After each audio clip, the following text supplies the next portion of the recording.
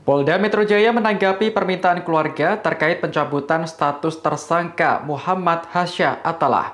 Hasya merupakan mahasiswa Universitas Indonesia yang tewas dalam kecelakaan mobil pensiunan Polri.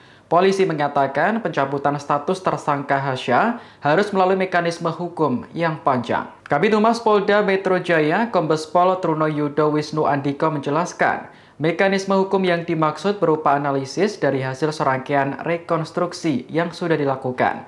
Dalam proses itu, sejumlah pakar turut dilibatkan untuk mengkaji secara formil hukumnya. Sebab pencabutan tersangka Hasya tidak bisa dilakukan secara otomatis. Sebelumnya orang tua Hasya mendatangi Polda Metro Jaya dan menyampaikan dua permintaan. Pertama adalah pencabutan status tersangka Hasya dan kedua melaporkan pensiunan polisi AKBP Eko Setiabudi.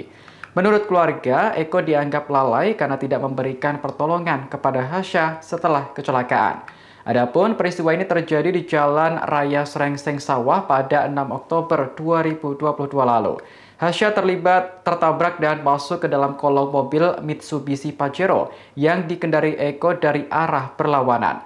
Hasya yang mengendarai motor dari arah Beji menuju Lenteng Agung tiba-tiba kehilangan keseimbangan. Dalam rekaman CCTV yang beredar, ada motor yang tiba-tiba melambat di depan Hasya. Aparat menilai peristiwa tersebut murni akibat kelalaian Hasya. Karena itulah Hasya ditetapkan sebagai tersangka meski meninggal dunia.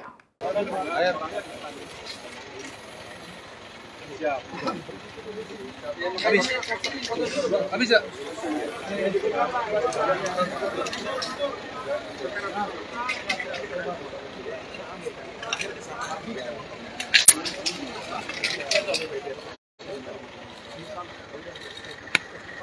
Korbannya di mana? Korbannya di mana? Apa yang di depan maaf dong. Oh iya, kepalanya? Kepalanya berapa sana, Pak? Jaraknya berapa? Pak, ini posisi aja jauh nggak dari sana? Jauh dekat. Gimana kepalanya nggak ada? Kepalanya ada di mana?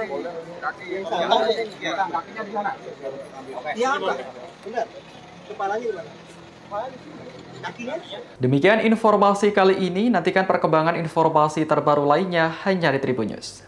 Terima kasih sudah nonton, jangan lupa like, subscribe, dan share ya!